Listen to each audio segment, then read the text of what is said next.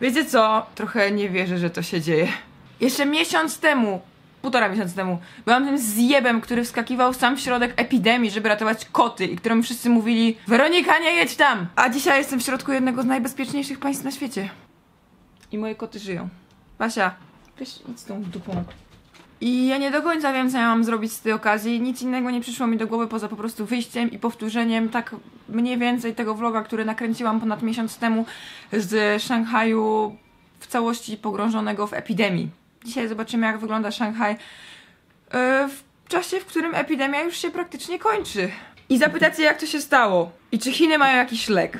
Nie, nie ma żadnego leku, wprowadzono po prostu takie tak drakońskie środki zapobiegawcze, środki bezpieczeństwa na mieście i przede wszystkim środki dla osób, które przyjeżdżają teraz do Chin, że e, tak, że licznik zachorowań spadł z kilku tysięcy każdego dnia do kilkunastu i to jeszcze w tych takich rejonach e, typu prowincja Hubei, gdzie od początku było bardzo, bardzo źle w Szanghaju, to już praktycznie zero, nic. Nie będę Wam w tym vlogu opowiadać o wszystkich tych środkach zapobiegawczych, które Chiny zastosowały przez te ostatnie dwa miesiące, bo po prostu no, nie ma na to czasu i być może nagram potem jakieś Q&A czy coś tego typu, a jeżeli chcecie się o tym więcej dowiedzieć, to zapraszam na mój Instagram, ja tam codziennie postuję rzeczy typu na przykład osoba z komitetu osiedlowego śpiąca w namiocie pod drzwiami kogoś na kwarantannie i pilnująca, żeby on nie wyszedł. Tak, tego typu rzeczy są w Chinach, więc jeżeli chcecie to zobaczyć, wejdźcie na mój Instagram, tam jest, o, tam jest codziennie dużo story na temat tego, co się tutaj dzieje. Także jeżeli psychicznie znosicie źle to, co się dzieje teraz w Polsce, to zapraszam was na mój Instagram, tam jest bardzo dużo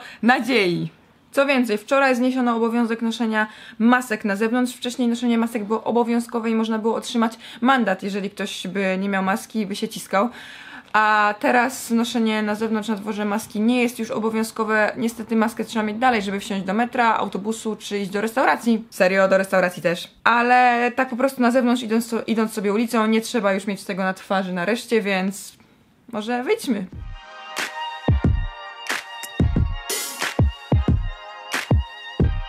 Dzisiaj zaczynamy od restauracji, bo chcę coś zjeść. Wcześniej nie było restauracji, a to dlatego, że wszystkie były zamknięte.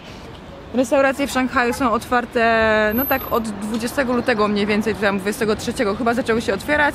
No i tak od tego 23 przez tamten tydzień do końca lutego już tak mniej więcej wszystkie się otworzyły. Ale tu jest dalej napisane, że maskę trzeba mieć, żeby wejść. Maska, widzicie? Mój Boże, bez sensu to trochę. Teraz musiałam założyć, żeby tam wejść, no ale co ja zrobię? Każą to każą. Matko, jaki bezsens. Weszłam i już mogę zdjąć tą maskę. Ale na wejściu było dalej mierzenie temperatury i zapisywanie numeru i imienia.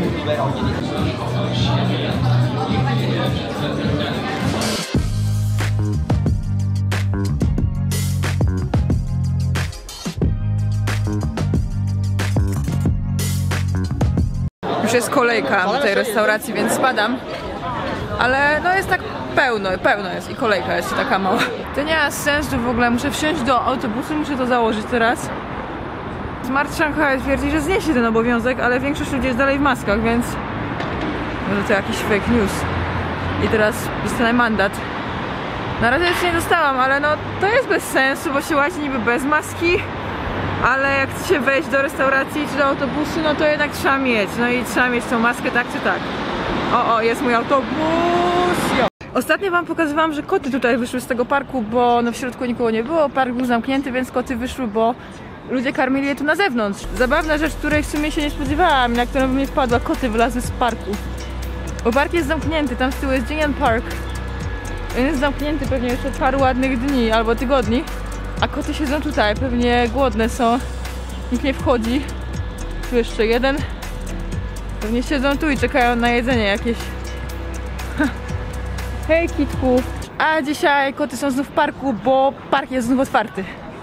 Można wejść, tylko na zewnątrz na wejściu jest mierzenie temperatury. Nie wiem, czy trzeba mieć maskę, ale mierzą temperaturę. Dobra, idę. Hej kitku! Kitku! Tam jest jeden kitku. Drugi kitku. Trzeci kitku.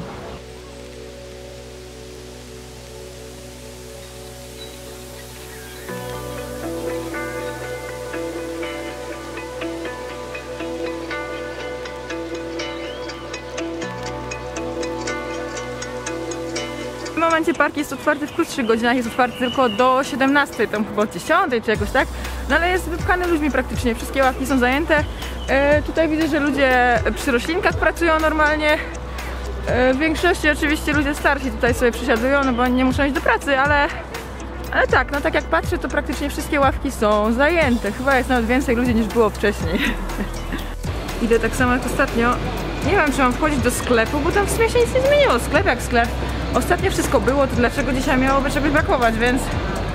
Więc w sumie to nie idę już do sklepu. Tutaj. Maska dalej konieczna, żeby wejść. Nie ma, że bez maski. Trzeba mieć maskę. I mierzenie temperatury tak jak było, tak jest dalej. Tutaj na stacji Giant Temple akurat nie ma takiego pojedynczego mierzenia, bo to jest zbyt taka busy stacja, żeby to, no to by za dużo czasu po prostu zajęło. E, Więc jest tylko kamera taka termowizyjna, jak to się nazywa, no taka wiecie, co mierzy temperaturę i, się, i są na kolorowo ludzie. Ale na takich mniejszych stacjach każdemu po kolei się mierzy. No tu nie. Widać ludzie z tyłu? No są, nie ma jakoś dużo, ale są. Oj, mało ludzi, mało ludzi w tym metrze. Myślałam, że będzie więcej. A jest tak, no tak, no tak, tak. I tak, tak, no tak nie za dużo w sumie. No nie, trzeba jednak powiedzieć, że jest mniej ludzi w tym metrze. Na Dzień Temple na stacji metra mi się wydawało, że nie ma dużo mniej, ale jest.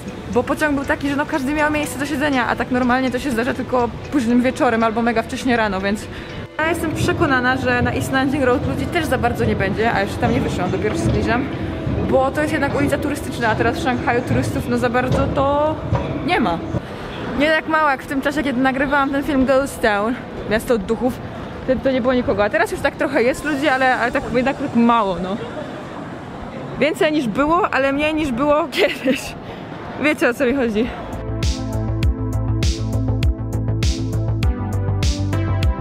Nie pamiętam jaka była dokładnie sytuacja, jak byłam tu ostatnio i kręciłam tego vloga. Kurde, powinnam go obejrzeć, zapomniałam. Dzisiaj na East Road, ale tak, wszystko jest tutaj zamknięte. Apple Store closed. Yy, Z tyłu jest sklep Samsunga, też zamknięty i w ogóle tutaj jest bardzo dużo sieciówek na East Landing Road, wszystkie są zamknięte.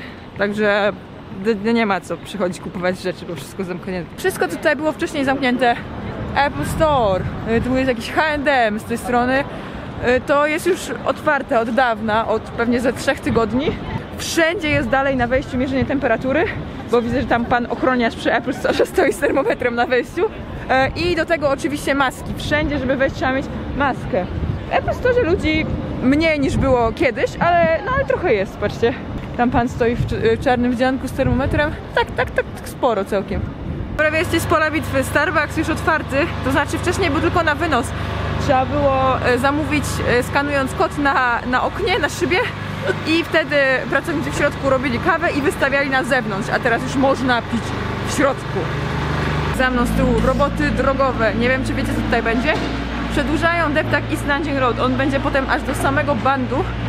Na razie jest tylko do skrzyżowania z Henan Road, a teraz później, jak tutaj już zrobią, to do samego bandu będzie deptak i będzie można iść sobie deptaczkiem do bandu.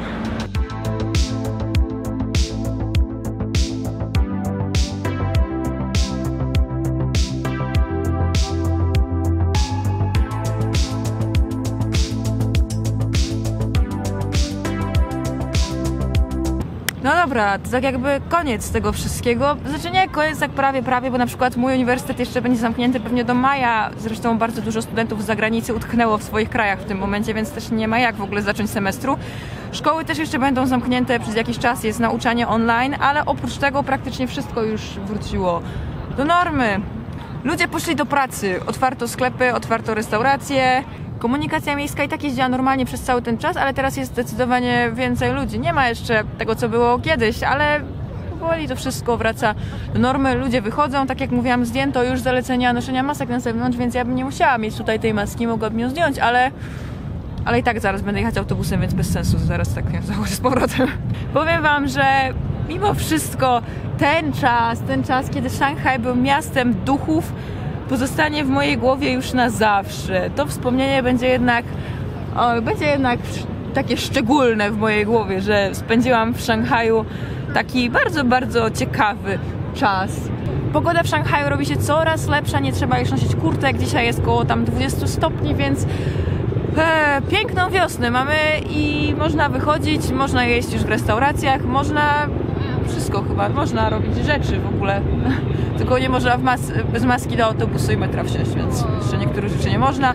Jak byłam tutaj ostatnio na bandzie, to opowiadałam wam o tym, że w sklepach wszystko jest. I że tam przez taki krótki okres czasu nie było, bo był chiński Nowy Rok i nie było dostaw, a potem już było. I tak, dużo ludzi mnie pyta, czy w Chinach było to samo co w Polsce, że na przykład papier toaletowy wykupowali. Mam wrażenie, że Chiny są jedynym państwem na świecie, gdzie ludzie nie wykupowali papieru toaletowego. Nie wiem dlaczego ten papier toaletowy akurat tak, tak ludzie się na niego rzucili, ale nie, w Chinach nie wykupowano papieru toaletowego.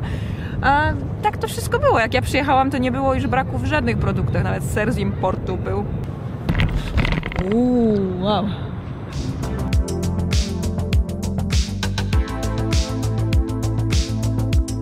Dobra, wracam już do domu. Pamiętajcie, że w Szanghaju wszystkie osiedla są dalej zamknięte, chociaż już tak słyszałam, że trochę na pół gwizdka, bo czasami na noc otwierają. Tak, żeby e, mogli sobie spać w tych stróżówkach i nie musieć otwierać każdemu, kto w nocy wraca. Więc, no ale tak oficjalnie odwiedzinki znajomych dalej nie bardzo. E, kurier z paczką też nie wejdzie e, na osiedle. Pan dostawca jedzenia też raczej na osiedle jeszcze nie wejdzie. Wszystko trzeba odbierać przy bramie, więc... Więc tak, na osiedle są dalej wpuszczani tylko ludzie, którzy tam mieszkają. Tak jak mówiłam, po prostu w większości ochroniarze wiedzą, kto gdzie mieszka i wpuszczają. Tak jak ostatnio mydło. Sorry za te naczynia w zlewie, ale ja nie, ja nienawidzę zmywać naczyń. Na wejściu na osiedle już chyba nie ma mierzenia temperatury, przynajmniej mi już nie mierzą od chyba końca lutego, bo no bo już nie mierzą i tyle, no. Dobra, i to by było tyle w sumie. Wiecie, fajnie, bo fajnie, ale skończyła się laba. Koniec siedzenia w domu i oglądania seriali codziennie.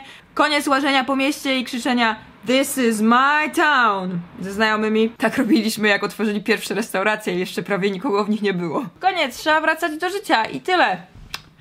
Także powodzenia Wam życzę. Mam nadzieję, że się uporacie z tym wszystkim tak szybko, jak tutaj się z tym uporano. Wszystko będzie w porządku.